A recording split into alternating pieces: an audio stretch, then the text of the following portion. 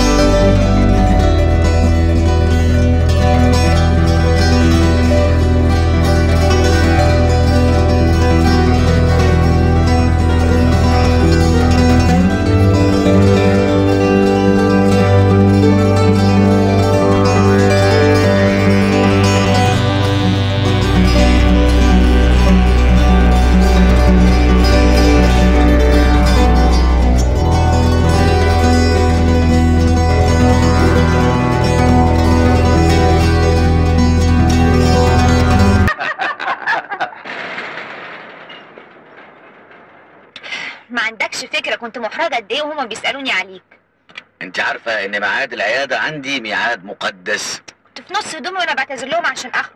اللي مسك فيا؟ واللي اصر إن هو يوصلني. في الآخر بقى اضطريت أقول لهم ان أنا خارجة قبلك. الله الله الله الله. انت جاية تقعدي معايا ولا جاية تتخانقي معايا؟ أنا نفسي أفهم أنت ما جيتش الحفلة ليه. عاصم وصاحبك ودايما بتزوره وإحنا الاتنين معروفين إن إحنا مخطوبين لبعض. نفسي بقى ألاقي سبب لاعتذارك ده. أنا بصراحة ما اعتذرتش عشان ما بحبش الحفلات. بالعكس. أنا ممكن أروح أي حفلة وأبقى سعيد جدا. بس على شرط أنت ما تكونيش موجودة. سلام. الدرجات دي يعني وجودي معاك بيضايقك؟ بالعكس.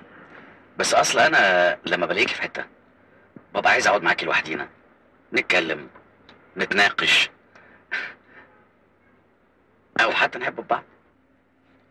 يعني أنت جيت في ميعادك ساعة استناك لوحدي؟ لا أهي دي بقى ملكيش كلام فيها.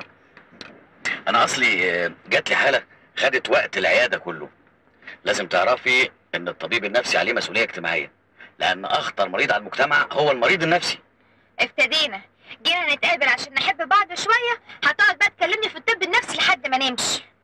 لا بس آه، الحالة بتاع النهارده نادرة جدا. على كل حال سيبك من الكلام ده. إحنا مش معقول هنفضل مخطوبين كده. لازم ناخد خطوات إيجابية في موضوع جوازنا. بقولك إيه بقى؟ ممكن أجل كلام دلوقتي في الموضوع ده؟ أنا عاوزة أروح لماما نفسي أشوفها.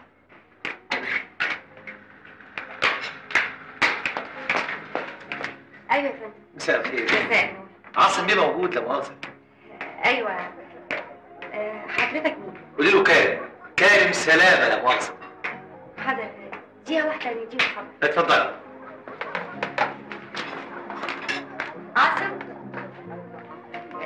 واحد اسمه كريم سلامة؟ لا. طب عايز يقابلك. وهو ده وقته برضه يا مكان معلش بقى أنا قلت له حاضر ما تحرجنيش معاه. عشان خاطرك حاضر.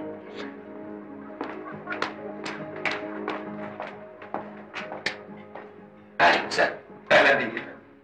خير. ممكن والله أدرس مع سيادتك عشر دقايق لا مؤاخذة. هو الوقت مش مناسب. ومع ذلك اتفضل. شكرا. لا مؤاخذة.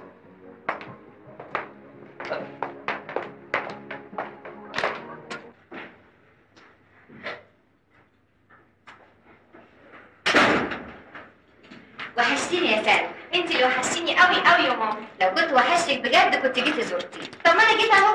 جيتي أهو. ده انت بقالك أكتر من ست أشهر ما زرتنيش. معلش يا ماما ما انت عارفة الجامعة وظروف امتحانات البكالوريوس. البكالوريوس أهم ولا ماما؟ مفيش حد أهم منك انت في الدنيا كلها. طب ما تيجي تقعدي معايا. ده أنا عايشة لوحدي ومحتاجالك آه، آه، أصل مريهان آه، ما انت عارفة بقى إن عاصم دايما مشغول قوي. وبصراحة هي مصممة إن أنا أفضل قاعدة معاه معلش براحتك وراحتها. بس يرضيك النهارده يبقى عيد جوازها وما تعزمنيش. آه، يا نهار أبيض يا ماما. آه، أنا اتأخرت قوي بقى لازم أنزل. باي يا ماما.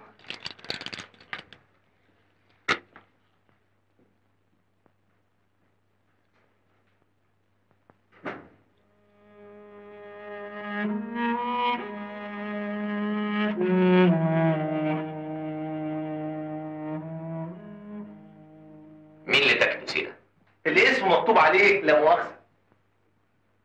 انت مش بتقول انه صاحبك؟ هو يعني مش صاحبي لا مؤاخذة. امال تعرفه منين؟ في الحقيقة هو قابلني قدام الفيلا وقال لي ادي ده للأستاذ عاصم لطفي المؤلف. اتفضل. عامل بيه إيه لا مؤاخذة؟ رجعه للافندي اللي اداهولك مش هتقراه لا مؤاخذة؟ لا. أنا آسف. أنا آسف. لا مؤاخذة.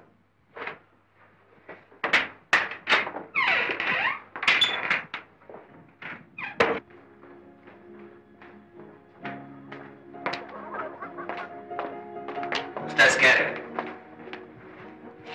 قول لي يا عماد عبد الفتاح اني مش هقابله ولا ارد عليه في تليفونات إذا استمر على أسلوبه ده. أنا آسف على الإزعاج. لا مؤاخذة.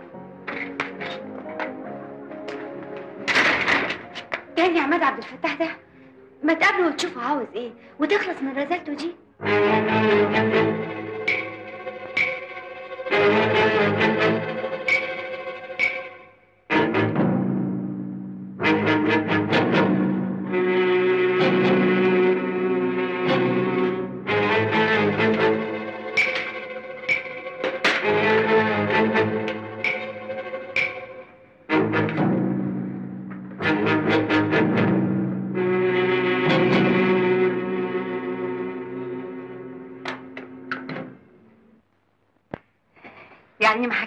روايتك الجديده أحكي لك فيها إيه بس؟ إذا كان أنا لسه ما كتبتش فيها حرف واحد.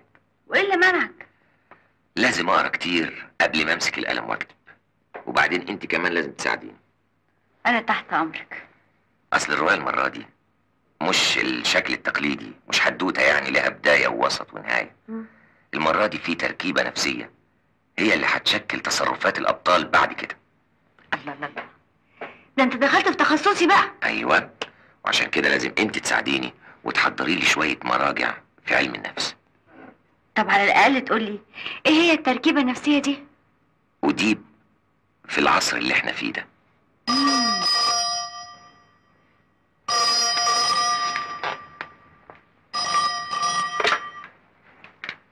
ألو؟ جلاب؟ خير؟ انت مش لسه ماشي من عندي؟ في إيه؟ قلقان ليه؟ حاضر. حاضر. هفوت عليك بكرة ونتكلم زي ما انت عايز. حاضر. مع السلامة. مع السلامة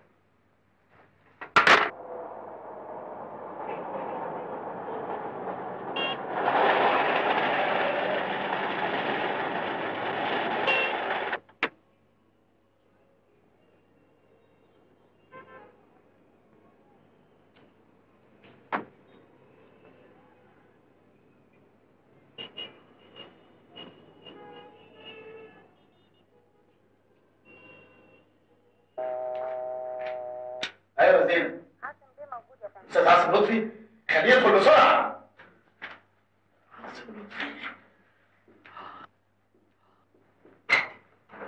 عاصم إيه يا سيدي بوتشر إيه يا سيدي اتفضل يا عاصم اتفضل إيه الهوسه اللي انت عاملها دي اتفضل تليفونات تليفونات تليفونات قلقان ليه ملاوج ليه امال عايز تعمل إيه؟ لازم اضرب تليفونات عايز الورق عاوز الورق جديده حاضر حاضر يا جلاب انت عارف ان دي مساله بتحتاج شوية وقت يا أستاذ عاصم أنا بيتي هيتخرب أرجوك شد حيلك شد حيلك اعمل معروف. أنا متفق على توزيع الكتاب ده في ظرف شهرين وقابض فلوس على كده. طب أنا ذنبي إيه؟ أعمل لك إيه يا جلاب يا عاصم لازم تنقذني. إن ما خلصتش أنت كتاب أنا هروح في الطراوه الكتاب خلاص بقى هنا. إيه هنا ده؟ إيه اللي بتقوله لي ده يا عاصم؟ يعني أجلد رأسك؟ اخد راسك اوديها المطبعة. يا جلال هو إحنا لسه هنعرف بعض؟ ده عشرة 15 سنة. المفروض ان انت حفظتني وعرفت طبعي خلاص. لا لا لا لا. لا يا عاصم انت خلاص. مالكش طبع مستقل خلاص. أصبحت moody. صدقني يا عاصم بقيت moody خالص moody خالص. مش عارف انت قبل الجواز كنت حاجة وبعد الجواز حاجة تانية خالص. إزاي يعني؟ إزاي؟ قبل جواز كنت عاصم لطفي المؤلف العظيم المتوقد المشتعل والحق fire. بعد جواز بلطت. لا بقى يا جلاب يبقى انت مش فاهمني. جايز لو كنت أنا مش موفق في حياتي الزوجية كنت وافقتك. لكن أنا والحمد لله زوج سعيد. يا ريتك كنت تعيس يا أخي يا عاصم. يا ساتر أنا عارف انك سعيد والسعادة بتشر من وشك قدامي. بس يا عاصم عاوز افهمك حاجة. انت صغير انت راجل كبير. ده سوق انت شغال فيه. لازم تبقى موجود في وسط الجيران دي. حاضر. مستمر بصفة مستمرة. كونتينيوس يعني الرواية الجديدة تنزل ومعاها الإعلان للرواية القادمة. واقلب. اقلب. أنا اقلب آه تقلب. ده أنا ما عملتش كده في بداية حياتي. أعمل كده دلوقتي. عاصم حبيبي. عاصم. اتفضل. اتفضل. اتفضل. آه. يا عاصم عايز أكلمك. افهم ركز معايا. مركز. هما أسبوعين أجازة. two weeks كويس. two weeks أقسم لك الأسبوعين أصلك لازم تغير جو. لازم تغير الناس اللي حواليك. الأشكال الوجوه اللي بتشوفها كل يوم. عاصم حبيبي أنا عايزك تسيب مراتك أسبوعين بس اتنين. أقسم لك وشرفي. وأنت عارف الشرف جلاب كويس. هترجع برواية متقفلة جاهزة جميلة حلوة وعليها توقيعك عاصم لطفي تمت بحمد الله الساعة كذا بتاريخ كذا أقسم لك في هذه الساعة بالذات اللي هتخلص فيها الرواية هكتب توقيعك بمية الدهب أنا تعبان واشمعنى عقدة أديب يعني اللي مستهوياك بالشكل ده؟ أنت يعني متصور إن أنا هعمل دراسة تحليلية عن عقدة أديب؟ دي شغلة الناس المتخصصين اللي زيك. يا سيدي أنا فاهم إنما إشمعنى العقدة دي من بين العقد النفسية اللي اخترتها موضوع لروايتك أنت عايز نحرق الرواية ولا إيه؟ لا لا لا بلاش على كل حال الموضوع ده تناولوه ادباء كتير قوي سواء هنا أو في الخارج بس ده أنت كده هتحتاجني يا بطل أنت ناسي إن ده برضه تخصص مرهان؟ على فكرة أنا مسافر اسكندرية هقعد هناك أسبوعين. بصراحة أنا مش عارف أشتغل هنا نهائي. يمكن هناك الجو يساعدني أكتر. يوه ما تخليك قاعد معايا هنا أحسن. وعلى الأقل وأنت بتكتب هتلاقي حد يسليك معلش. يمكن السفر وتغيير المكان يفيدوني أكتر. خلاص على راحتك. وأنت بقى هتتأخري عليا؟ ما أقدرش. هجيلك يوم الخميس ونقضيه كله مع بعض. ويوم الجمعة أرجع بالليل. وأنت؟ هتتصل بيا أنا هكلمك مرة الصبح ومرة بعد الظهر. ويا ريت مرة بعد العشاء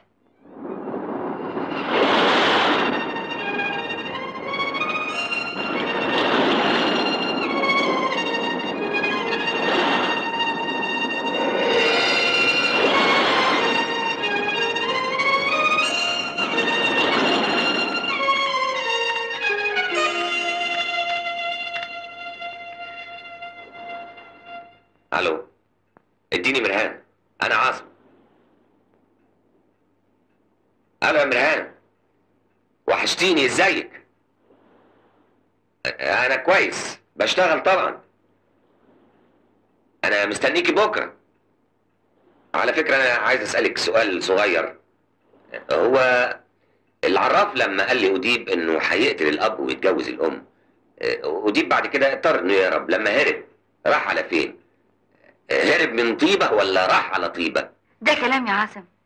بقى معقول انت مش عارف؟ أهو آه، متلخبط بصراحة. مش عارف مش قادر أركز. حاسس إني تعبان وتايه كده على طول مش فاهم. آه، مرهان أنا هكلمك بكرة الصبح. مع السلامة.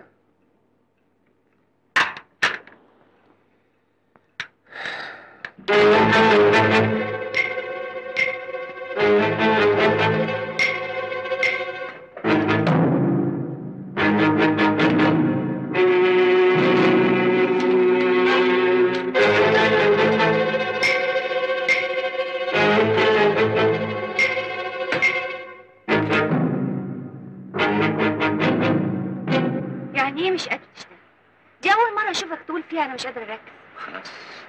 بقالي أسبوع بشتغل تعبت زهقت. مش قادر أفكر. ثم انت معايا هنا يا مرهان أنا عندي اقتراح.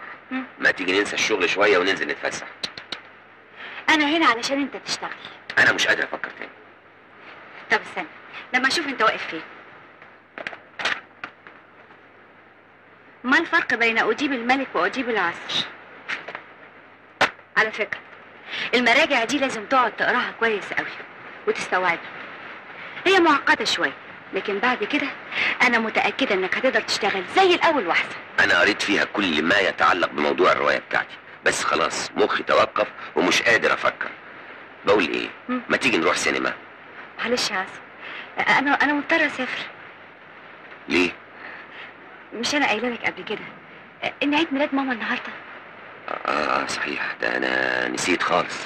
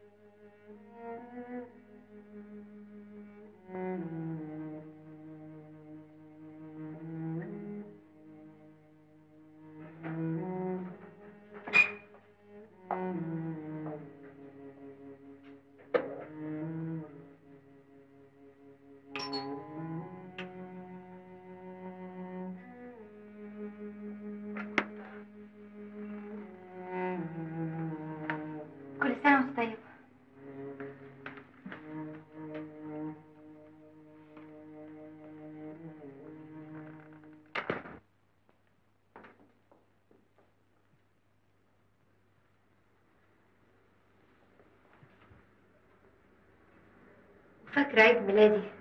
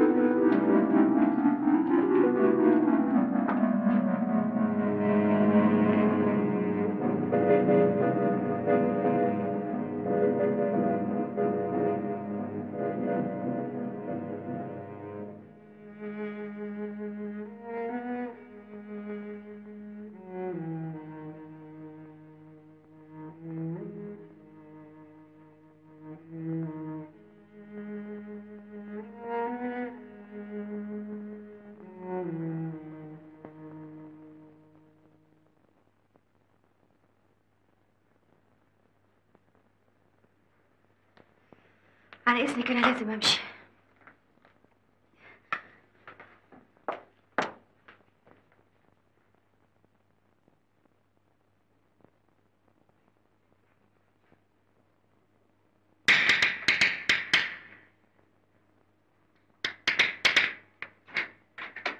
السلام عليكم.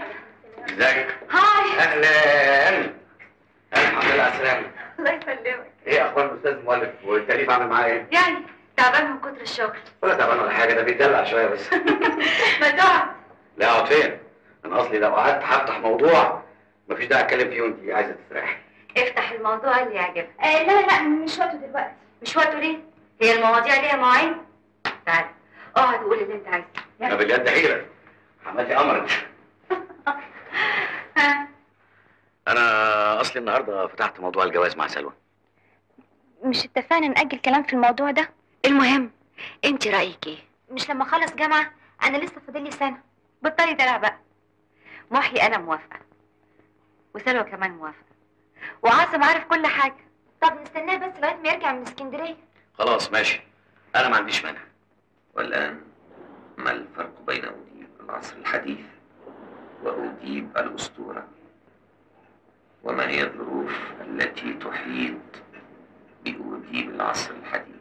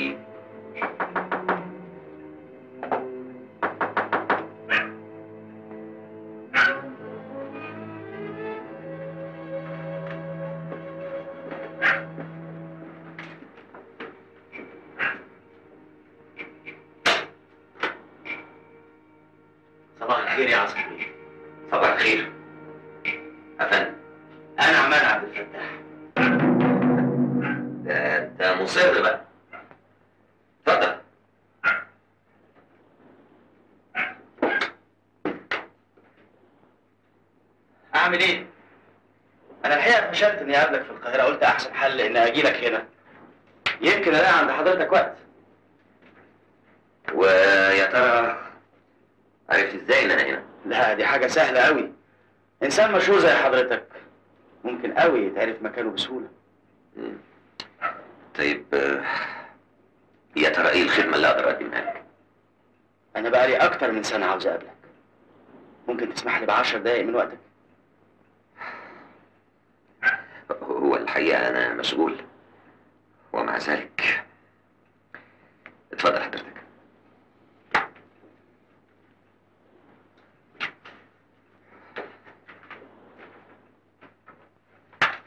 لحظه واحدة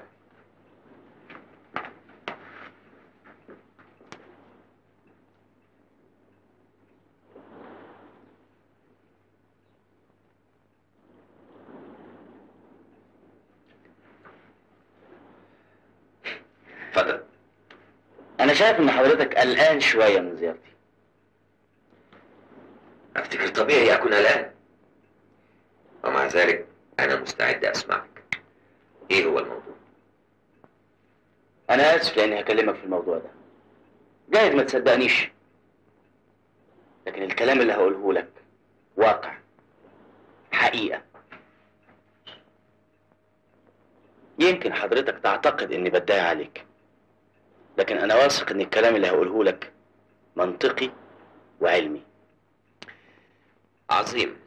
بس يا ريت تدخل في الموضوع على طول من غير مقدمات.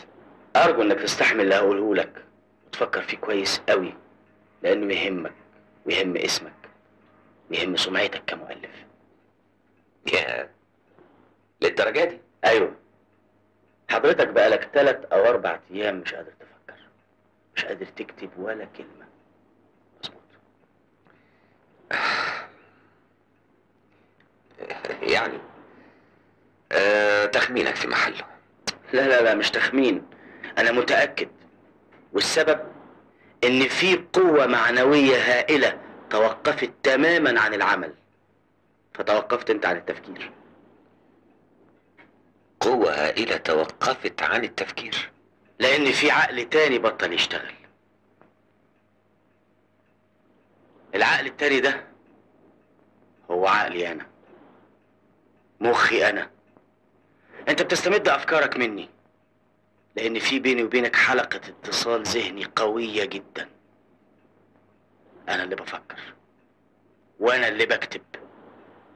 وأنت بتنقل عني. اسمح لي أقول لك المقابلة انتهت.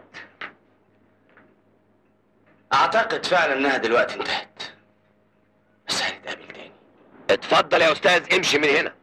مش هقدر اصبر عليك أكتر من كده. أستاذ عاصم أرجوك.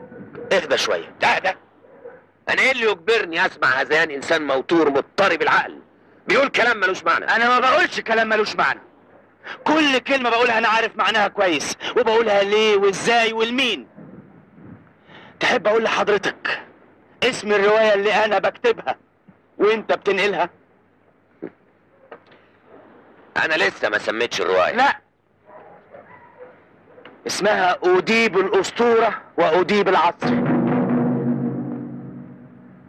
تحب أقول لك إيه الفرق بين أديب الأسطورة وأديب الصعلوك؟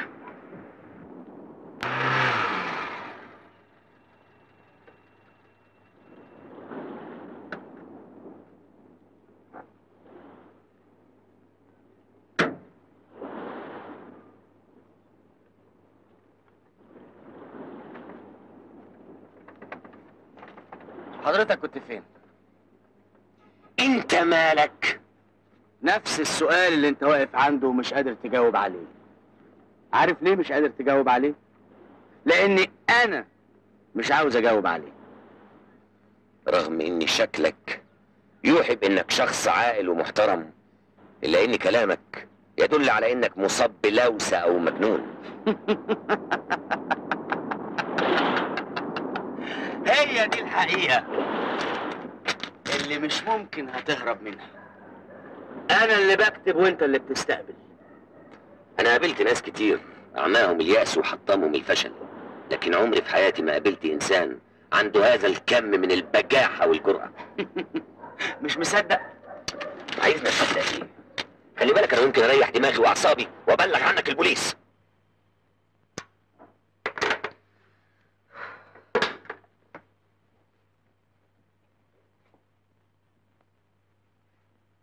عايز مني إيه؟ بتطاردني ليه؟ عايز تقنعني بإيه؟ اقتنعت ما اقتنعتش. ده مش هيغير من الحقيقة شيء.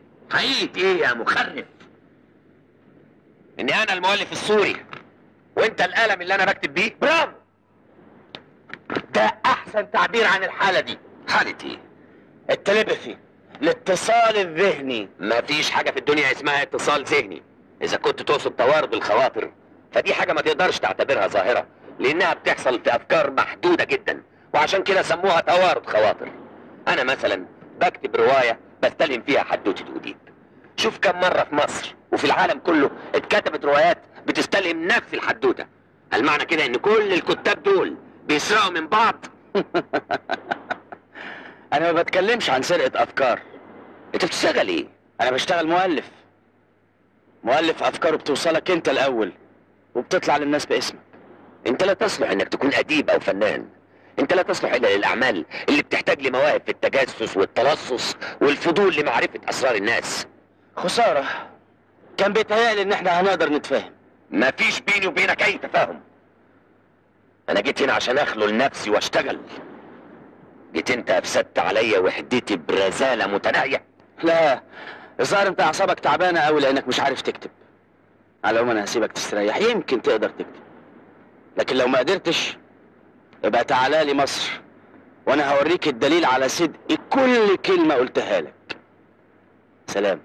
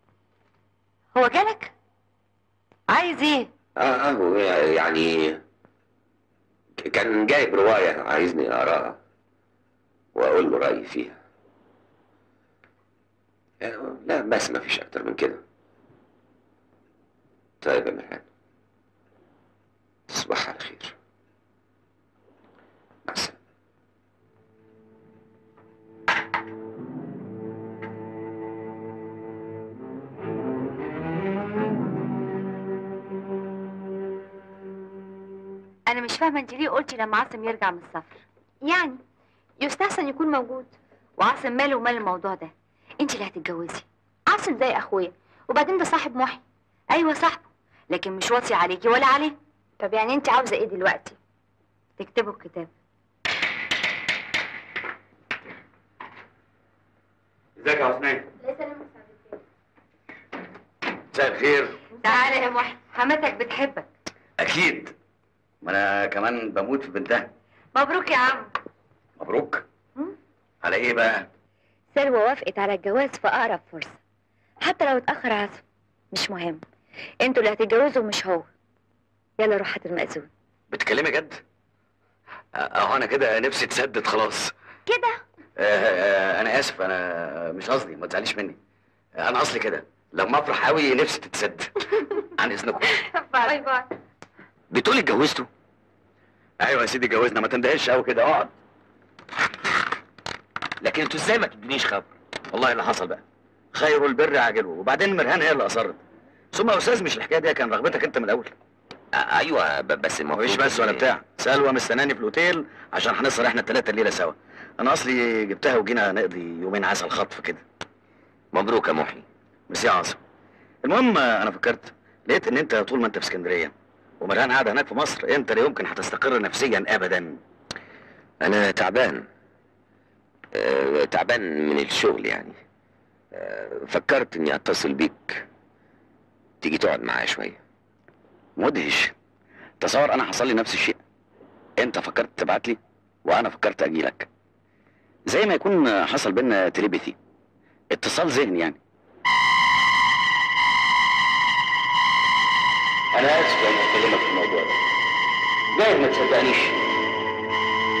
لكن الكلام اللي هقوله لك واقع. حقيقة.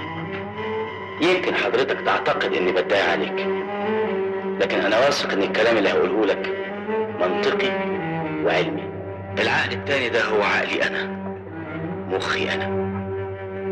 أنت بتستمد أفكارك مني. لأن في بيني وبينك حلقة اتصال ذهني قوية جدا. إيه يا عاصم؟ أنت رحت فين؟ شايف القلم ده محي؟ أيوه شايفه. القلم ده هدية من مرهان في عيد جوازنا الأولاني. لو حصل ونسيته كده ولا كده جيب جاكيتة في درج. تخيل إني معرفش أكتب حرف واحد. أنتوا أنتوا بتسموا إيه ده في علم النفس؟ يعني ممكن يطلق عليه الارتباط الشرطي. بس على العموم دي أوهام.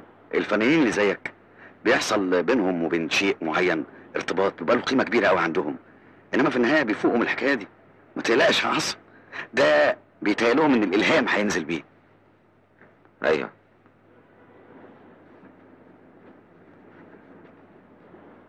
الإلهام.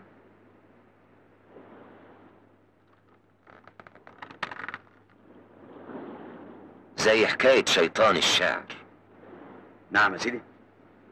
شيطان الشهر بيقولوا كل شاعر له شيطان يلهمه أفكاره وصوره ومعانيه.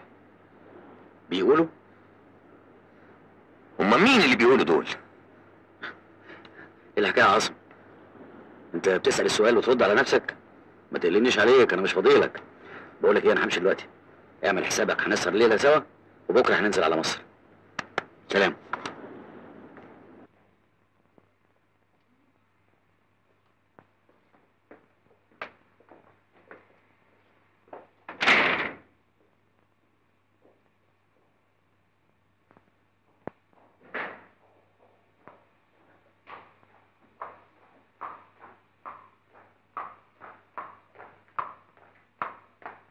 شكلك مش طبيعي مراتك جاية.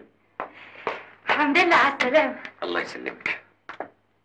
ما قلتش يعني انك جاي. هو كان عارف إنه جاي؟ ازيك يا سلمى؟ ازيك انت؟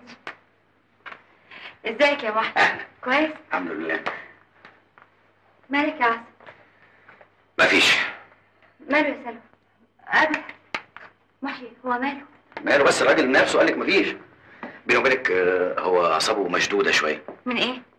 من إيه ده؟ إيه فنان بقى بيكتب روايات وحاجات زي كده؟ عاصم جالكم إمتى؟ ما جاش ده أنا خدت سلوى ورحنا له. عاصم مالك؟ متضايق من إيه؟ قلت لك مفيش يا مرهان انت ليه عاوز فنجان قهوه أعمل لك قهوة؟ يا ريت. لا لا خليكي. أنا هعملها له.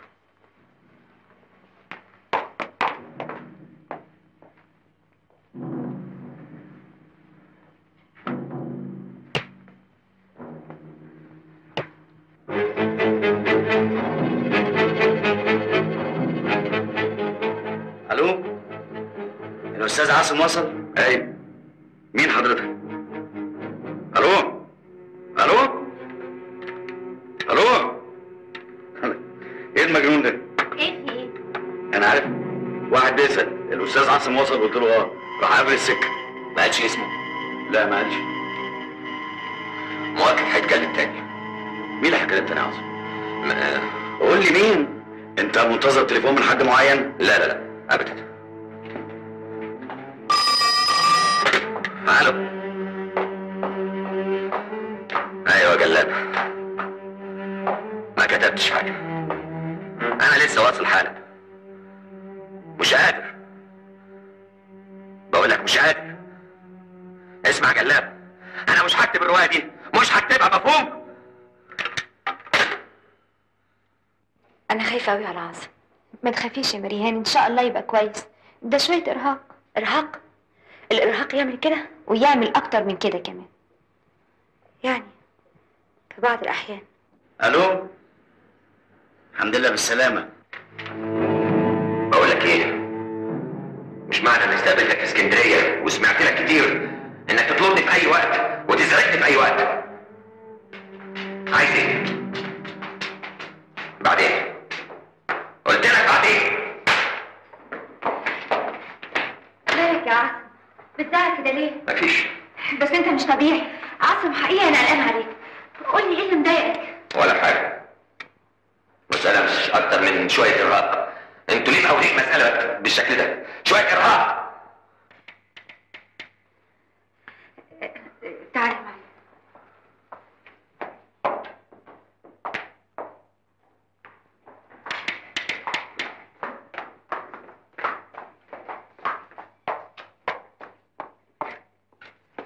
إيه القلق بتاعكم ده؟ في إيه؟ يا عاصم مش عارفة. كل يوم أعصابه بتبوظ عن الأول. من شوية حد اتصل بيه ولقيناه عمال يزعق. دخلنا عليه لقيناه تعبان قوي. وبعدين قال ده شوية إرهاق. محي اطلع له شوية وكلمه يمكن يقول لك حاجة. أيوه. أيوه يا محي. إيه- أنت صاحبه؟ إيه على مهلكوا شوية. أنا صاحبه أه. لكن انت مراته. وبعدين آه، أنتوا مش عارفين إن الفنانين دول اطوارهم غريبة. عاصم بيكتب رواية جديدة. أكيد أعصابه هتبقى مشدودة. لا لا المرة دي غير كل مرة. الحكاية بجد ولا إيه؟ أيوه. هو فين؟ فوق؟ أيوه. طب ثواني أنا طلع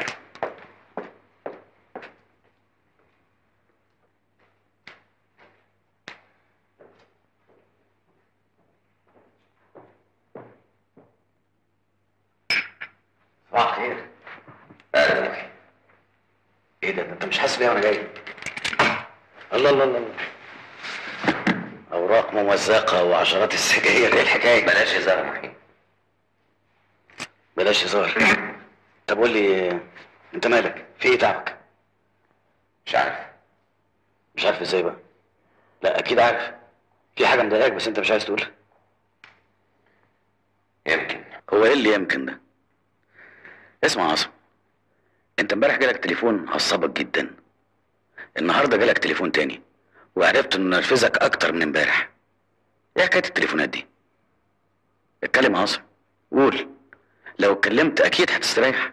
أنا لو حسيت إن اللي بيتكلم محي الدكتور مش هعرف أقول حاجة. الله. ده أنت افترضت إنك مريض بقى. محي خلاص خلاص. أنت اتنرفزت كده ليه؟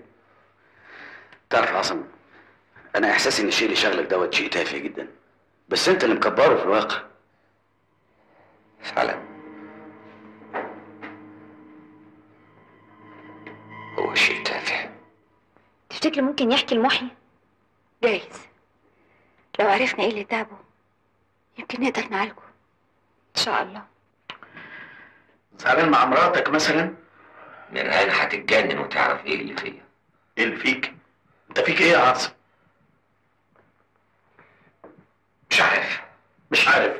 معقولة؟ مؤلف كبير زيك مش عارف يدخل جوه نفسه يشوف إيه اللي جواه؟ ويقب تاني.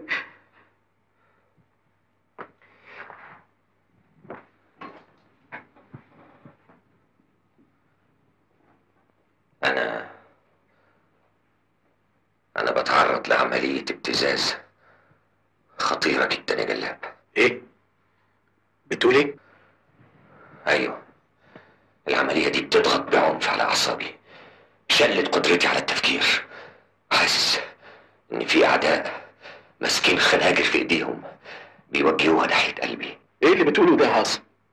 ده أنت حتى طول عمرك مالكش اعداء كل رواياتك عاطفية رومانسية ملهاش علاقة بالسياسة. كنا قلنا لك أعداء سياسيين مختلف معاهم في الرأي أو وجهة النظر. مش يمكن عشان كده. مش فاهم. يعني عشان ما بكتبش روايات سياسية. برضه جايز. بس مين هم دول؟ مش عارف. لا يا أستاذ لازم تعرف. دي مصلحة مشتركة بيني وبينك. أمال أنا مربوط بيك. أعدائك هم أعدائي. النهارده تدوروا عليك بكرة هيدوروا عليا أنا. جايز يكون عندك حساسية من ناحية شهرتك واسمك. إنما أنا الحمد لله حساسية من إيه؟ أنا راسي حاططها على دراعي. أنا أذبح. أنا اكسر أنا ابوظ بس قول لي هم مين؟ لما اعرف هقول لك. طب ما نعمل احتياطنا وتبلغ البوليس. أبلغ البوليس أقول لهم إيه؟ قول لهم احساسك ده مفيش داعي للشوشره هو مفيش غير الحل اللي هقوله لك. إيه هو؟ لازم أخدك وأروح رحله أمريكا كندا أروح بيك أسبانيا. إيه رأيك في جزر ماو ماو ناس بتاكل بعض هناك مناظر ما حصلتش. تقعد وتكتب الرواية هناك ونخلصها واجي على هنا إن شاء الله أقدمها للمطبعة واقابل أعداء أنا وأنت face to face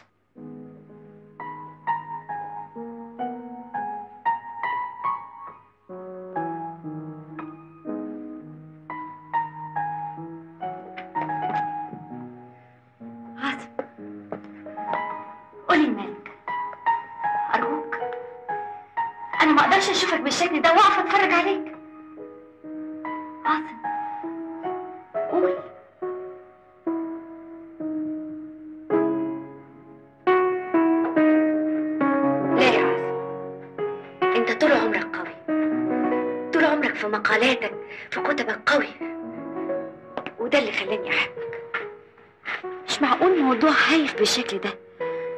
يخليك تنهار. لا يا عاصم لا. الموضوع مش بالبساطة اللي انت متصورها دي يا مرعان صدقني يا عاصم ده ده ولد نصاب. الخطورة مش في الولد نفسه. الخطورة في مين هم اللي وراه؟ بيشتغل لحساب مين؟ هيكون لحساب مين؟ انت بتبالغ يا عاصم ومديله حجم أكبر من حجمه. صدقني ده ولد محتال بيدور على فرصة للشهرة وعلى حسابك. لو كان مجرد نصاب أو محتال. عرف منين اسم الرواية؟ دي مش مشكلة. ممكن يعرف عن طريق مكتب جلاب. جلاب حاول أكتر من مرة يعرف اسم الرواية وأنا رفضت. مش بس كده. عرف إزاي؟ الفقرة اللي أنا وقفت عندها. مش معقول. مش ممكن ده اللي هيجنني. ليه ما يكونش دخل الشريف اسكندرية وانت بره؟ وعرف الفقرة اللي انت واقف عندها وخرج وبعدين جه يعمل اللعبة دي عليك. موافق. جايز. لكن كمان يعرف إني مش قادر أفكر مش قادر أشتغل. ده نصاب محتال أي حاجة. لكن ما تحاولش تقنعني إن اللي بيحصل ده حقيقي. أنا مش مقتنع. يبقى مفيش داعي تشغل نفسك بيه. صدقني يا عاصم إيه؟ ما تفكرش ليه؟ بشرب الشاي. عاصم أنا شايفاك النهارده كويس قوي إيه رأيك لو بعد الفطار تقعد تشتغل شوية؟ تكمل الرواية بتاعتك. أنا شايفاك النهارده معنوياتك مرتفعة جدا. الحمد لله؟ فعلا هبتدي النهارده.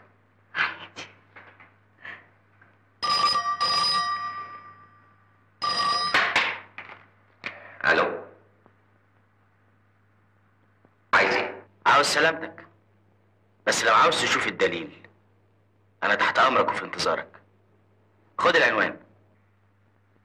أيوه. أيوه. حاضر. حاضر يا عماد. يا أستاذ عماد. بعد ساعتين. إيه؟ فيه. هتروح له. ضروري. لازم أعرف الولد ده عايز يوصل لإيه. إيه اللي عايزه مني بالظبط؟ عاصم ما تروحلوش. لازم أروح له لازم. عاصم ده ممكن يعمل فيك أي حاجة. ما تخافيش. ده مش أكتر من ولد عايز يبتزني مؤكد عايز فلوس. إيه؟ هتديله؟ طبعا لا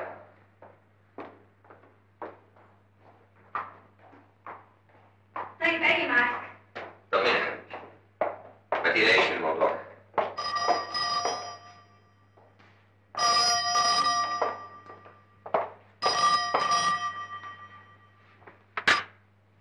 ألو أيوه يا أستاذ جلاب أنا أنا قلت لك قبل كده ما كتبتش حاجة م- متوقف خالص مش مش قادر اكتب أقدر اشوفك بالليل لازم دلوقتي آه ويا ريت يا أستاذ عاصم تجيب لي نسخه من اللي كتبته يعني أنا عايز نسخه من اللي كتبته إيه ما تفهمنيش غلط ارجوك مجرد فكره بس ميرسي اشكرك جدا اقفل من عندك يا عاصم يا أستاذ الكلام اللي سيادتك بتقوله خطير جدا. الكلام اللي بقوله لك ده لو مش حقيقي ما كنتش جيت لحضرتك هنا وجبت لك الأوراق دي. وهتشوف بنفسك. صورت لك الأوراق. عايز حاجة تانية؟ شكر عاصم خلي بالك من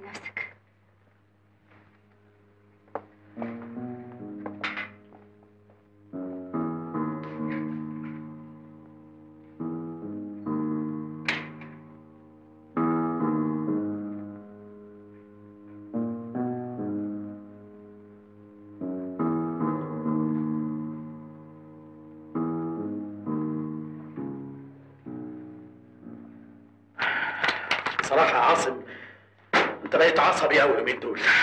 سامحني يا جلاب أنت الإنسان الوحيد اللي شرحت له المحنة اللي أنا فيها. يا عاصم أصل أنت ما قلتليش حاجة محددة مفيش وقائع محددة قلتها لي. كل اللي قلته لي إنك عندك كلكيع جوه معرفش أحاسيسك الجوانية.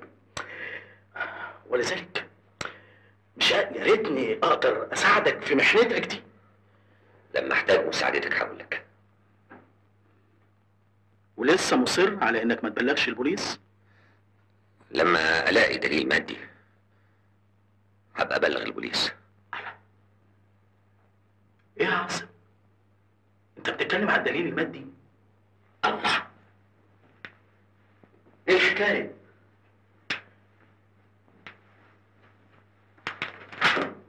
هو انت لغاية دلوقتي ما عندكش دليل مادي؟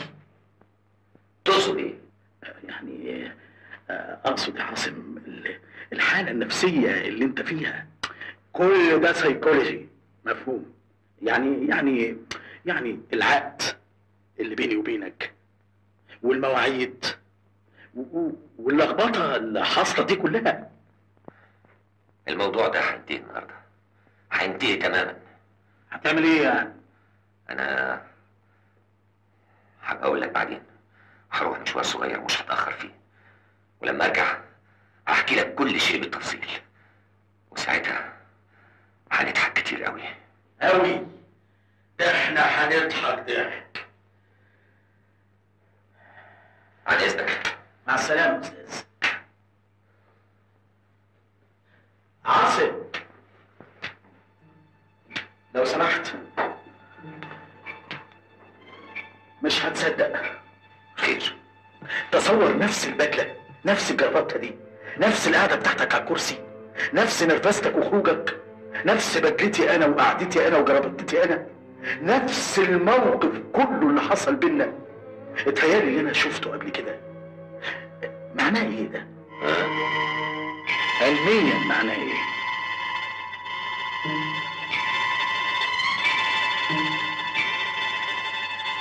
بتحصل. الله. ده هو ده بقى السيكولوجي.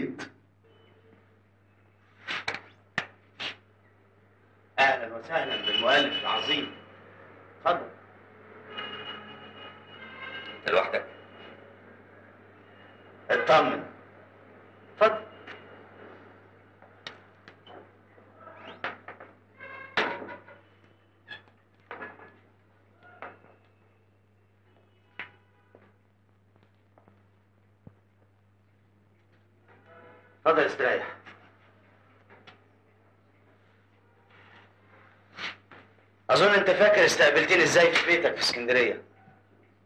لكن أنا هكون أكرم منك.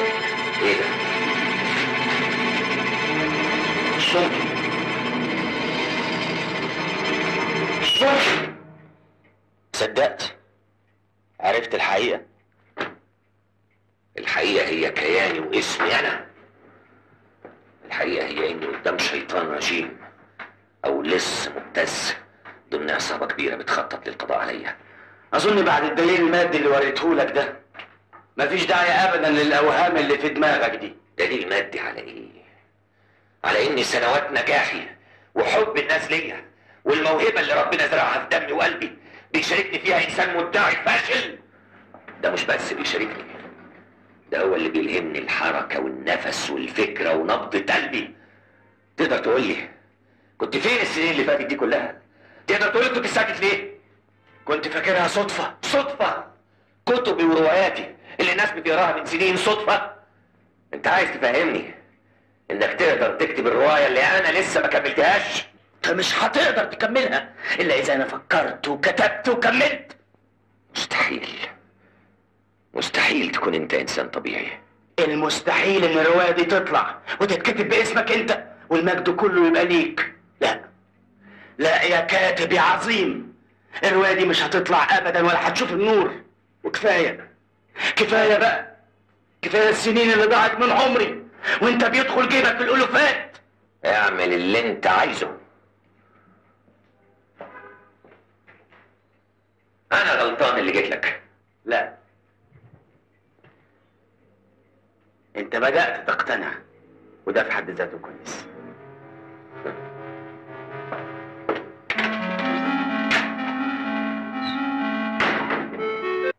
معقول يا مريهان ما أعرفش الموضوع بتاع عاصم ده غير من بره. معلش اصلها حاجة مش خاصة بيا. عاصم هو اللي لازم يقرر ويقول لك بنفسه. ايا كان الأمر كان لازم تقولوا لي. على كل حال فين عنوان الولد اللي عاصم راح له ده؟ عاصم خد معاه الورقة اللي كتب فيها العنوان. تفتكر يا محي عاصم ممكن يحصل له حاجة؟ طبعا المسألة مش بسيطة. علشان كده كان لازم آخد خبر من الأول. المسألة دي على فكرة ممكن تهزه نفسيا بشكل خطير جدا. أنا خايفة يا محي من المقابله اللي رايح لها دي. لا ما تقلقيش. هو احتمال يطلع من عنده على النادي. أنا هروح على هناك. لو لقيته كان بيها. ما لقيتوش هستناه. بعد عشر دقايق لو جالكوا أو اتصل بيكم في أي وقت كلموني في النادي. عن إذنكم.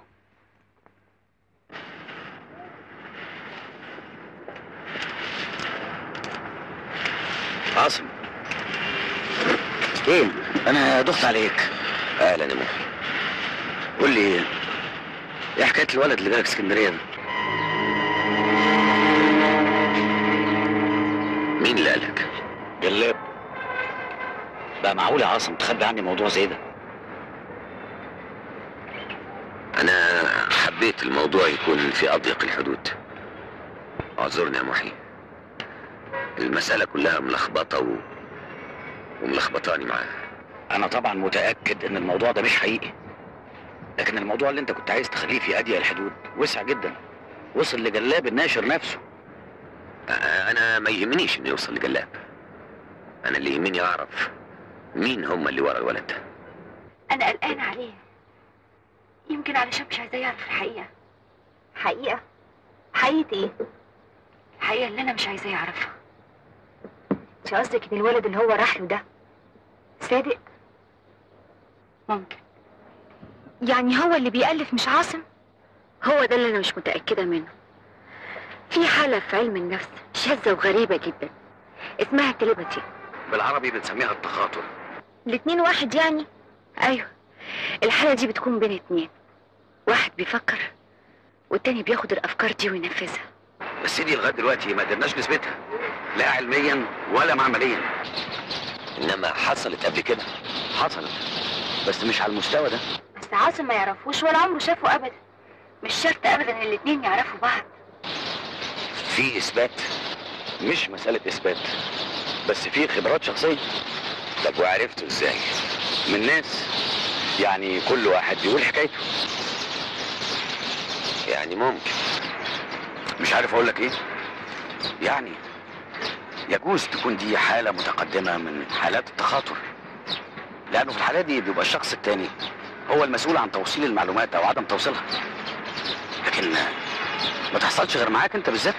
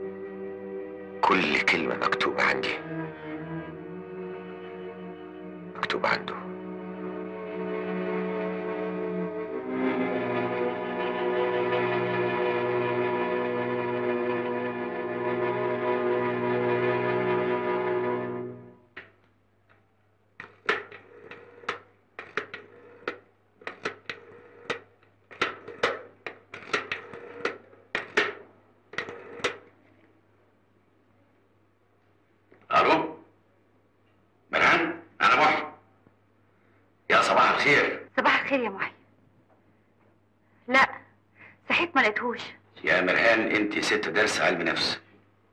وعارفة كويس الحالة النفسية اللي بيمر بيها عاصم. أيوه يعني عاصم في الحالة دي ممكن يقتل الشخص ده وممكن كمان ينتحر. آه دي بتبقى حالة يأس. يعني ممكن يموت نفسه يقتلها عاصم مش ممكن يعمل حاجة زي دي أبدا حاضر حاضر مش هسيبه لوحده أبدا سلوى أيوة جد دقيقة واحدة اندهلك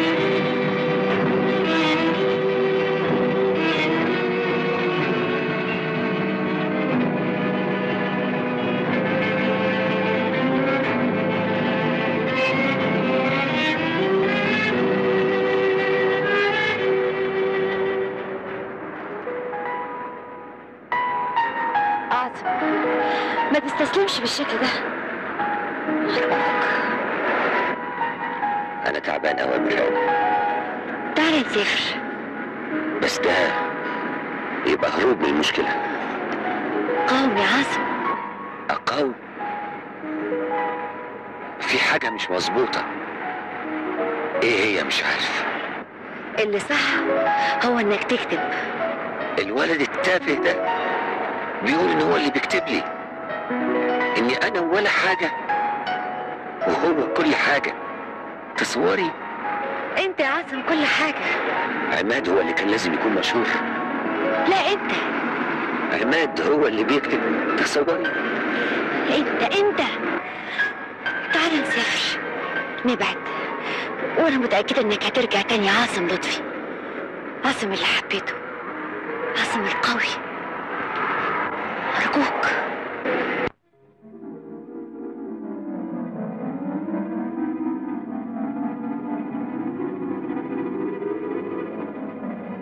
الوفاة جنائية واضح إنها جريمة قتل. قتل وحصلت ما بين الساعة سبعة ونص وثمانية ونص. ده تحديد مبدئي. لأن حسب كلام الطبيب الشرعي الدنيا حر اليومين دول. والجثة بتفضل سخنة فترة معينة. ولا يمكن تحديد ساعة الوفاة إلا بعد التشريح. لا بلاش ده إجراء قانوني طالما أن هناك جريمة قتل. لكن عزمي بيه الله يرحمه كتب جواب قبل ما يموت. يمكن نقدر نعرف حاجة منه. مرهان مرهان مرهان مرهان مالك يا مرهان مالك يا مرهان مالك؟ كابوس كابوس فظيع. معلش. أجيب لك شوية مية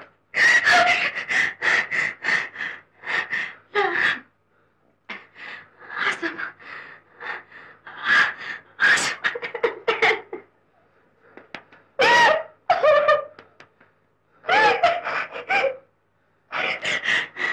انت كويس أنا كويس عاصم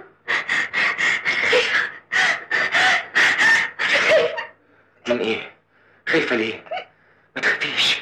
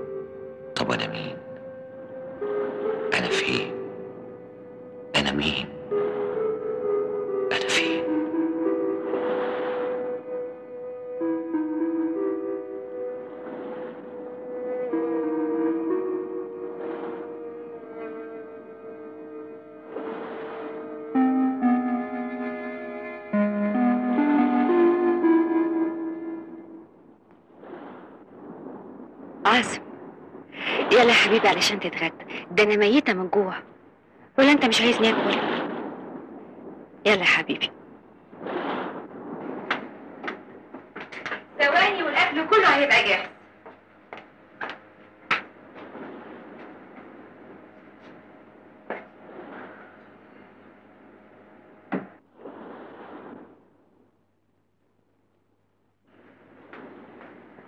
رز معمر ولحمه بفتيك عايز إيه تاني عايز سلامتك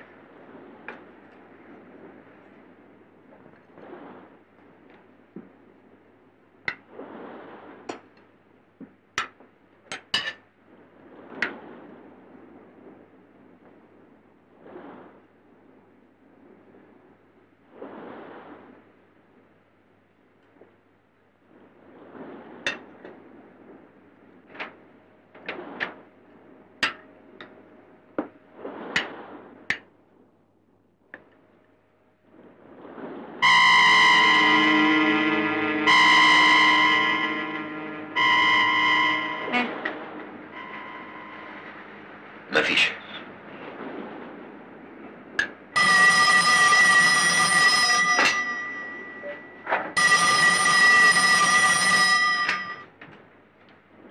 انت أنا عايز افهم أنت ممكن تكون طمعان في إيه إذا كنت بتدور على الشهرة أنا ممكن أشهرك. خلي بالك كلامك وتصرفاتك خرجوا من دايرة التخريف لدايرة الوقاحة. اعمل اللي أنت عايز تعمله. شوف مين اللي هيسمعك أو يصدقك. مش مهم حد يصدقني. المهم عندي أنت. يا ترى هتقدر تكتب لو فضلت شالي المخ عن التفكير. أيوه هو ده المهم. ولو كان يهمك كلامي حاول أول ما تنزل مصر تفوت عليا. أنا خلاص لقيت الحل اللي يرضيك ويرضيني. أنا اللي يرضيني إنك تكون دلوقتي فهمت رأيي فيك كويس قوي بعد كده مفيش حاجة تانية تهمني. الروايه هتخلص وهتنزل السوق والناس هتقراها وانت اضرب دماغك في الحيط. أنا كنت متأكدة. كنت واثقة إن أنت هتتخلص من المشكلة اللي أنت فيها. أنت أكبر من كل التفاهات دي.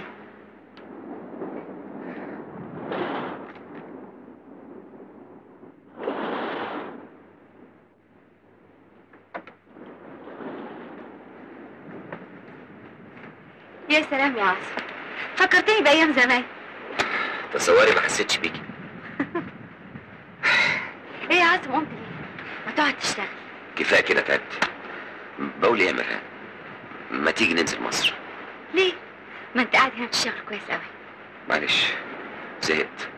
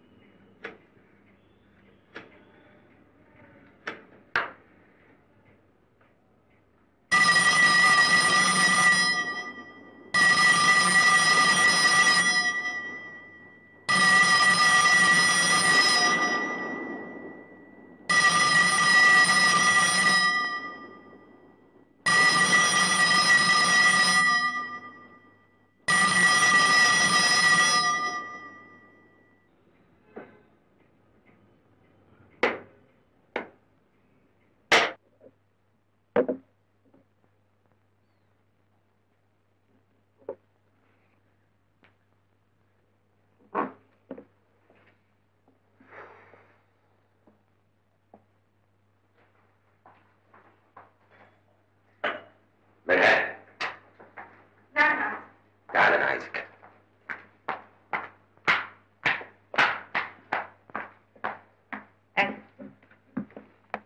عايزك عايزك تكلميني عن علاقتك بوالدتك. علاقتي بوالدتي؟ ما انت عارف علاقتي بيها. لا لا مش قصدي. أنا قصدي جوهر العلاقة زي ما بتحسيها جواكي في قلبك في أعماقك. طيب وإيه علاقة ده بال... بالرواية اللي انت بتكتبها؟ هيفيدني كتير جدا. ماما غلبانة يا عاصم. غلبانة؟ غلبانة ليه؟ الكلمة دي بتحمل جواها حاجات كتير قوي. معلش. اعذريني إذا اعتبرت ردك ده مفاجئ بالنسبة لي. انت معذور لأنك بتعاشر شخصيات رواياتك أكتر من الناس القريبين منك. إلا مرهان طبعا. ماما حظها وحش. فقدت أبويا وفقدت جوزها التاني. وعشاني أنا وسلوى اتعذبت كتير وضحت كتير. يمكن مفيش ست في الدنيا اتعذبت عذابها. والد سلوى كان بيعاملك كويس؟ عمره ما فرق في معاملته بيني وبين سلوى. كان بيعامل ماما كويس؟ بيحبها؟ كانت بتعبده. وهو بيعبدها.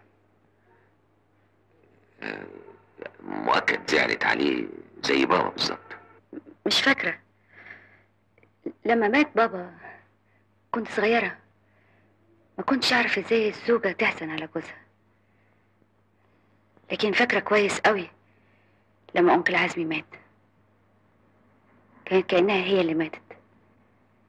كانت حاسة إنها هتموت بعده على طول. ماتت فعلا بموته. اتعذبت كتير بعد ما مات. بعد وفاة والدك. إزاي استقبلتي خبر جواز والدتك؟ لا ما كنتش متضايقة. وقتها ما كنتش في سني. يخليني أفهم اللي بيحصل كويس. إيه؟ مش يلا بقى علشان تشتغل؟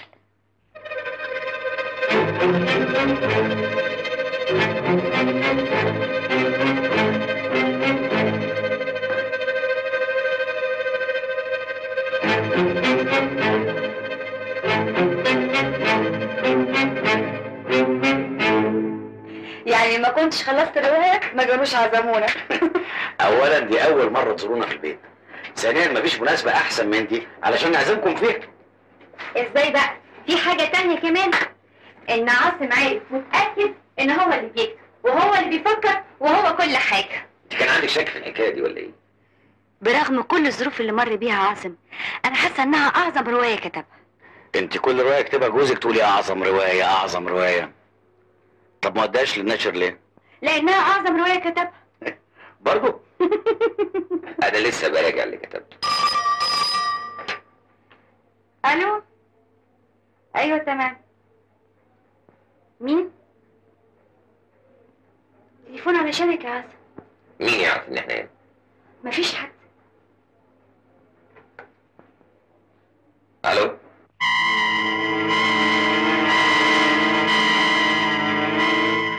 مفاجأة إنك تسمع صوتي مش كده عرفت النمرة دي إزاي؟ جبت النمرة دي منين؟ أنا لما أحب أجيب نمرة حد بجيبها فهمت عايز سلامتك طبعا عايزك تقابلني عايز تقابلني؟ حاضر الساعة كام؟ طيب استعد للمفاجأة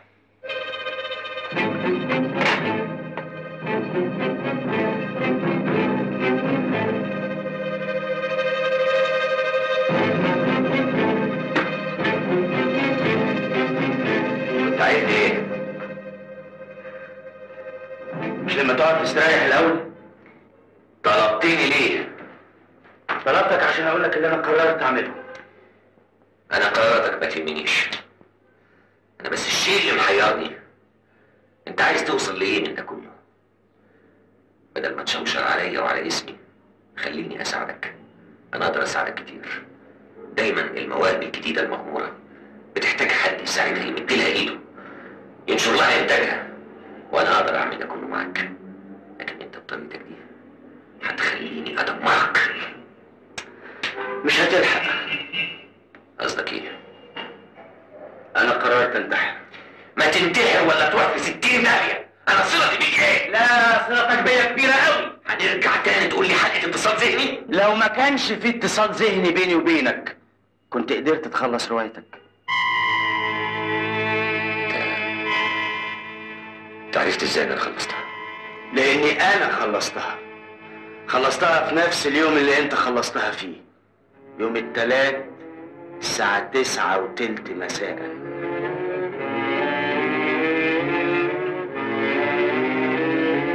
مستحيل.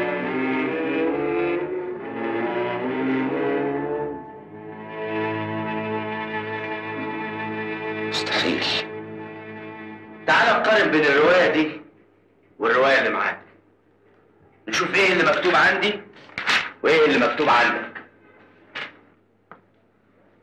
أنت عندك في الصفحة اللي قبل الأخيرة ثلاث كلمات مشطوبين. أنا اللي أوحيت لك تشطبهم وتكتبهم تاني.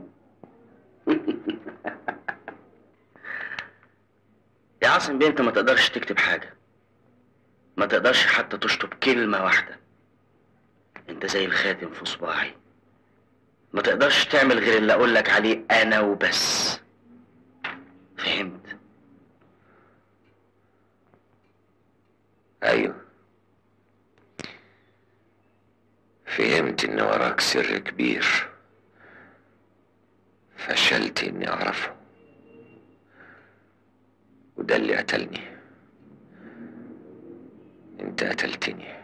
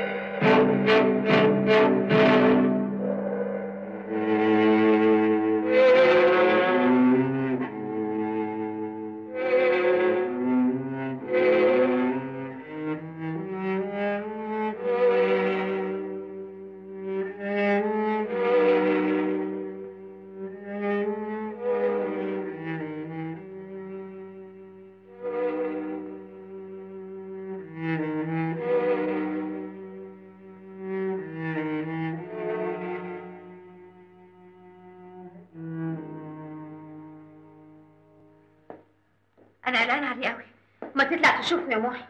دي فعلا حاجة تقلق. ثانية واحدة. أنا خلاص. ما عدتش قادرة أستحمل. مريم انت بالذات مش لازم تنهاري. أنا لازم أشوف حل. تعالي معايا.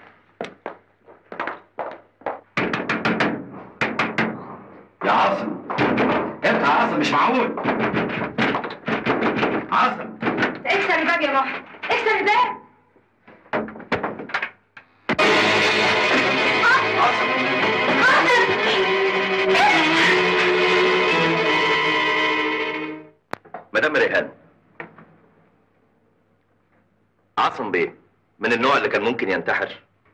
لا. لكن كل شيء جايز لكن إزاي؟ بالسيانور. بسم السيانور. سيانور؟ في حاجة يا مدام ريهان ده نفس السم اللي مات بيه جوز ماما والحادثة دي حصلت من أربع سنين واتأيدت ضد مجهول. واعتقدنا كلنا في الأول إنها انتحار.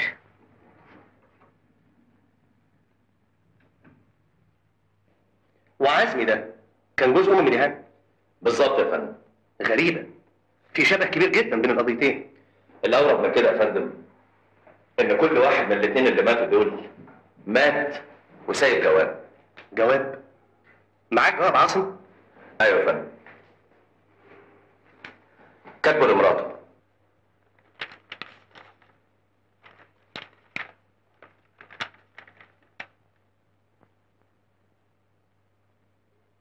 ده جواب واحد بيهرب مسافر بيبعد عن شبح الموت. على قد كلامه ده بيبعد علشان يقاوم. لكن يقاوم مين؟ ويقاوم إيه؟ مش كاتب هو كاتب شبح الموت يقاومه يرجع كويس يبدأ نشاطه جديد أيوة يا فندم. أيوه يا حاتم مفيش أي كلمة أو أي إشارة تدل على إنه انتحر وده اللي ملخبطني. وبعدين في حاجة كمان يا فندم. إيه إيه؟ مكان الجواب. الجواب لقيناه في جيب الجاكيتة الجواني حاتم. عايزك تقرأ ملف القضية الأولانية. أكيد في علاقة بين الجريمتين طبعا يا فندم. أيوه في إيه؟ في جواب عشان حاتم بيه طيب شكرا.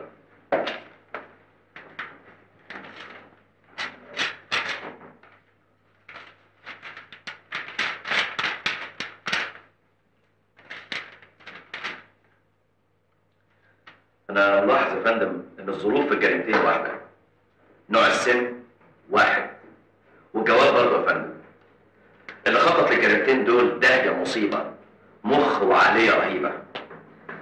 لكن هو مين ده اللي أنا مش عارفه بس هو أكيد حد قريب منهم قوي قوي قوي يا فندم قول لي يا حاج مرات عاصم شافت الجواب ده لا يا فندم ما شفتوش طب أنا عايز اوريه لك لازم تقراه حاضر وليه حضرتك ما اديتهوليش من الأول لأن كان لازم السيد رئيس المباحث. يشوفه بس أنا مش شايفة في حاجة مهمة تخلي حضرتك تفتحه وتقراه قبل ما تديني خبر. أنا آسف طبعا. لكن الجواب ده أثبت لنا شيء مهم جدا. إيه هو؟ عاصم بيه مات مقتول. حضرتك بتقول مات مقتول؟ أيوه. وبنفس نوع السم اللي مات بيه جوز والدتك. القاتل في الحالتين بيحط السم في شيء متأكد إنه هيستعمل في يوم من الأيام ويسيبه ويبعد هو عن مكان الجريمة. لكن ظروف الجريمتين واحدة. وكمان في شيء مشترك في الجريمتين. الجواب اللي بعته عزمي بيه لأخته والجواب اللي بعته عاصم بيه لحضرتك. أعتقد إن هو ده الخيط اللي أنا هقدر أمشي وراه. لأن لما قابلت الأستاذ محيي قال لي إن كان في شخص دايما يضايق عاصم بيه. أيوه فعلا. الشخص ده أنا لازم أعرفه لأنه جايز يوصلنا للقاتل الحقيقي.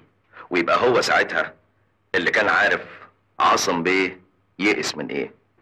مش صعبان عليا في الموضوع كله إلا مريهان. عاصم كان كل حياتها دلوقتي بقت وحيدة. محي. أيوه يا حبيبتي. أنا عاوزة أبقى أروح أقعد معاها ممكن؟ آه طبعا طبعا. آه روحي لها بكرة بالليل. ومتهيألي تاخدي مامتك كمان تقعد معاها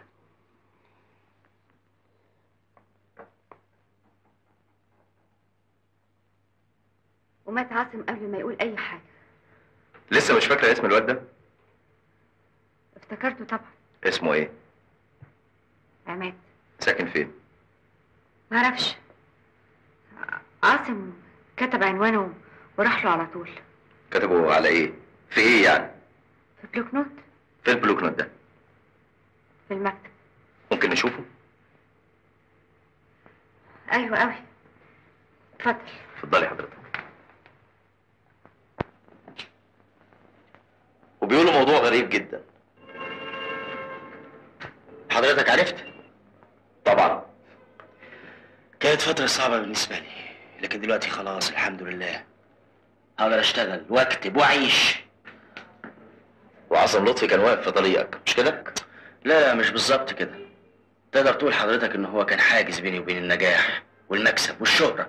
إزاي؟ حضرتك عارف الموضوع كويس طبعا وأكيد اتأكدت من مسألة الاتصال الذهني. أنت بتكتب من إمتى؟ من حوالي 15 سنة. يعني بدأت وأنا عندي 18 20 سنة. نفس الوقت اللي بدأ يكتب فيه عاصم لطفي. امم طب اشمعنى هو اللي اشتهر مع إنه بيلعب من أفكارك؟ حظ. وإيه اللي سكتك ال 15 سنة اللي فاتوا؟ مين كان هيصدقني؟ واتكلمت دلوقتي ليه؟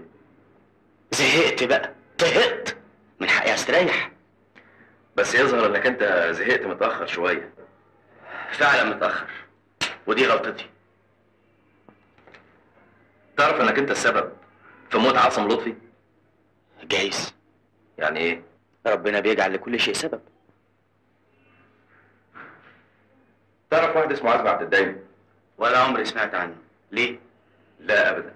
مجرد سؤال. عن إذنك. مع السلامة. هشوفك قريب. شرف في أي وقت.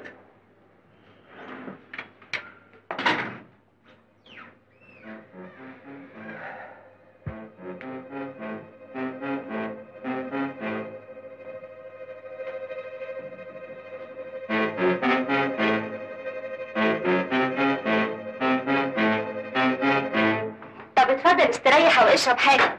لا ميرسي. أنا بس جاي أسأل سؤال واحد وأمشي. إحنا تحت أمرك. بس مش معقول هنتكلم وإحنا واقفين كده. اتفضل. اتفضل. شكرا.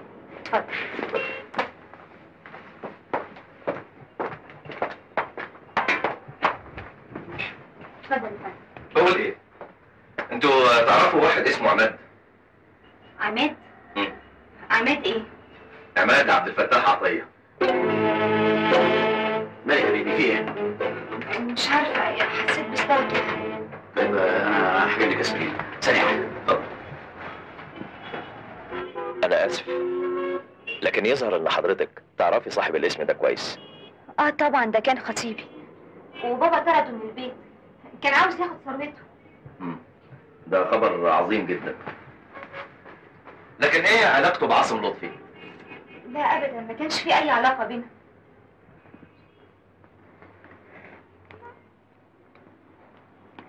بس مريان هي اللي كانت السبب في فسخ الخطوبه لأن هي اللي كشفته وقالت عليه نصاب. كده يبقى كل شيء واضح. والد سلوى طرده ومريهان حطمت أماله وانتقم من الاتنين فعلا. قتل والد سلوى وقتل الراجل اللي حبته مريهان. كده يبقى في سؤال مهم. اتفضل. أيام عماد عبد الفتاح مكان خطيبك كان بيألف؟ لا ابدا. ده عمره حتى ما كان بيقرا يافطة في الشارع. انت؟ إيه اللي جابك هنا دلوقتي؟ القضية لسه ما خلصتش. خلاص التحقيق اتقفل. ما حصلش. والظابط ممكن يكون هنا في أي لحظة. وحشتيني يا مرهان. عماد. عماد انسى كل اللي فات. إيه؟ انسى؟ أنا بحبك يا برهان واتفقنا على الجواز. ما أقدرش اتجوزك. ما أقدرش بعد كل اللي عملته علشانك؟ انت ما عملتش حاجة ابدا. انت كنت مجرد منفذ لكل اللي أنا خططته. لاني بحبك. أنا حاولت احبك. ما قدرتش. أنا عمري ما حبيتك. ده مش كلامك بتاع زمان. فين الكلام اللي كنت بتقوله لي؟ فين حبك ليا؟ فين احلامنا؟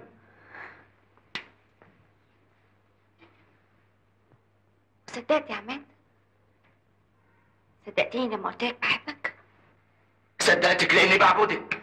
أنا مش إله أنا إنسانة. أنا صدقت كل كلمة قلتها لي. غلطان. كان لازم تتأكد. أنت ضيعت مني سلوى وثروتها. بعدها اديتيني الأمل لما قابلتيني من سنتين واوهمتيني إنك بتحبيني. خدعتيني ليه؟ أيوه خدعتك. وما تسألنيش ليه. لاني ما أعرفش؟ ما تسألنيش قتلت عاصم ليه؟ لأني برضه ما أعرفش يعني إيه؟ يعني يعني تنسى كل اللي حصل. أنسى؟ أنا مش ممكن أسيبك تتمتعي بثروة عاصم لوحدك. مش هي دي الثروة اللي كنا هنقسمها بيننا بعد الجواز؟ بطل أحلامك دي وعيش في الواقع. مع السلامة. أنا هخرج من هنا وأعترف. روح أعترف. هقول إنك أنت اللي قتلتي عاصم. قول. ما حدش هيصدقك. لأنك لازم تقول لهم أنا قتلته إزاي. وده اللي أنت ما تعرفوش.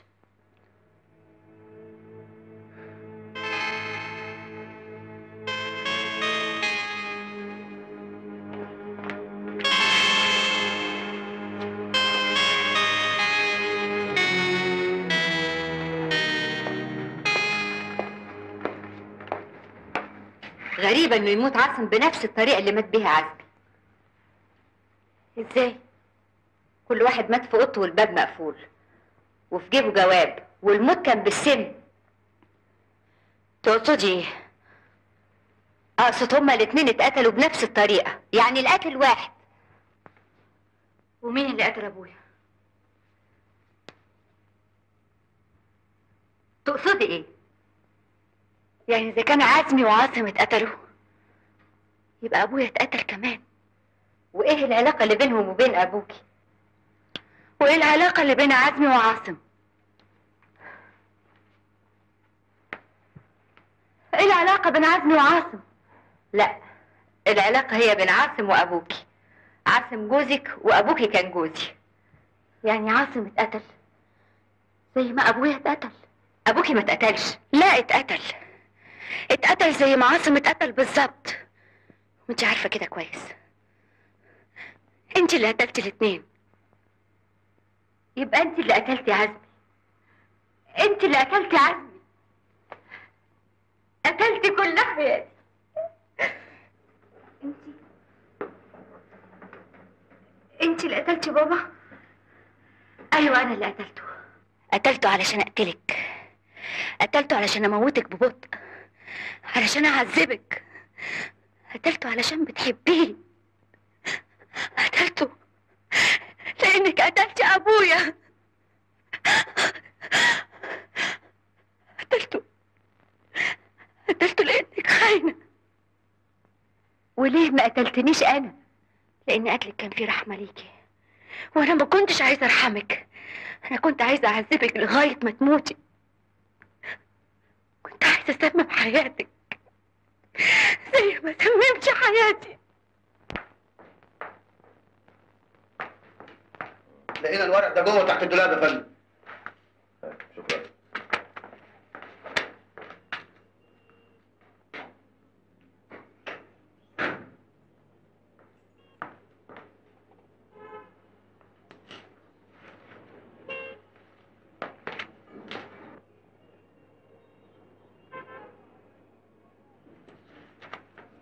مش قلت لك إن إحنا هنشوف بعض تاني؟ وأنا كنت متأكد اني هلاقيك هنا. لأني رحت لك المكتب ما لقيتكش. إحنا لقينا الورق ده. وخط عاصم لطفي واضح فيه كويس قوي. مظبوط؟ أيوه. مين اللي صور الورق ده واداهولك أنا هقول لك كل حاجة. يكون أحسن. كويس إن حضرتك عارف إن السبب في انه فقد ثروه كبيرة. لكن الشيء اللي ما خطرش على بالي ابدا إنه ممكن ينتقم مني الانتقام ده. موت عاصم. واتهامي باني شركته في جريمتين ما خطرش على بالي ابدا إن عماد عبد الفتاح هو عماد خطيب سلوى لأني أعرف إنه ملوش علاقة بالتأليف والروايات. أنا مصدق حضرتك طبعا. وعشان كده بطلب منك إن إحنا نكتب جواب للسيد رئيس المباحث. تشرحي فيه وجهة نظرك اللي انت قلتيها دي دلوقتي. لأن مش معقولة طبعا هاخدك معايا المحافظة. وأنت عارفه هناك الإجراءات متعبة بالنسبة لك. اتفضل.